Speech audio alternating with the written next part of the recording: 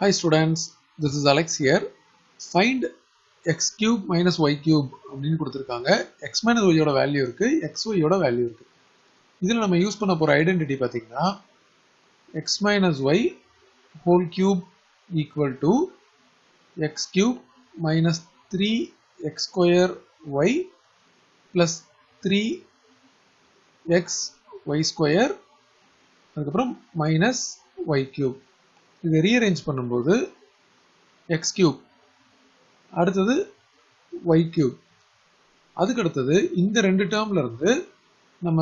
காமனா minus three X ஒய்யை வெளியே எடுக்கிறோம். இப்போ இதில் மைனஸோட சேர்த்து வெளியே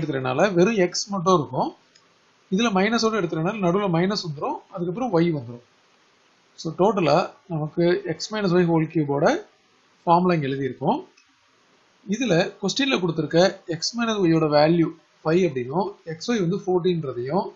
இந்த ரெண்டு இடத்துல சப்ஸ்டியூட் பண்ண போகிறோம் இங்கே எக்ஸ் மைனஸ் ஒய்யும் இங்கே எக்ஸ் ஒய்யோட வேல்யூ சப்ஸ்டியூட் பண்ண போகிறோம் அகைன் இங்கே ஒரு எக்ஸ் மைனஸ் ஒய் இருக்குது ஸோ எக்ஸ் மைனஸ் ஒய் வந்து five so five cube equal to x cube minus y cube minus three